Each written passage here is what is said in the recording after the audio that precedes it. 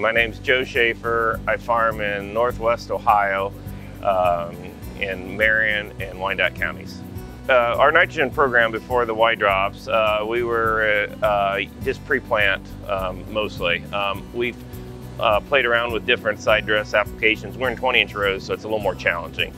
But uh, we started using Y drops about two years ago. It allowed us to go a little later in taller corn and get it closer to the stalk. We thought it was a better way to apply it. Our first applicator was a John Deere R series. Um, we uh, that was a little bit of a challenge because that boom doesn't fold exactly at 60 foot, which is what our planter is. So we had to um, do some things to, to make that work. Um, we've now transitioned to a Hagie a machine, um, and I haven't used it yet, but looking forward to it this year we, we use the, the glide feature, which is uh, with a John Deere machine, it's almost a must because it's behind you and you can't see it all the time. So you don't know exactly where it's at. Um, so I guess on that machine, I liked that it, that it could control the auto height uh, as you went through the field. First year we started, it was this kind of trial. Uh, we didn't do all the acres. Um, tried to do some of the bigger fields to make it easier.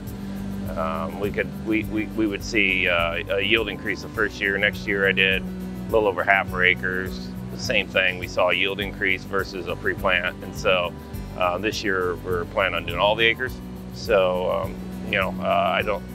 First year maybe it was coincidence. Second year I don't think so. I think it's probably a more efficient way. Plus. The other thing it allows us to do is dial in the nitrogen by going with two passes. So we hopefully can save a little money with this high price nitrogen this year.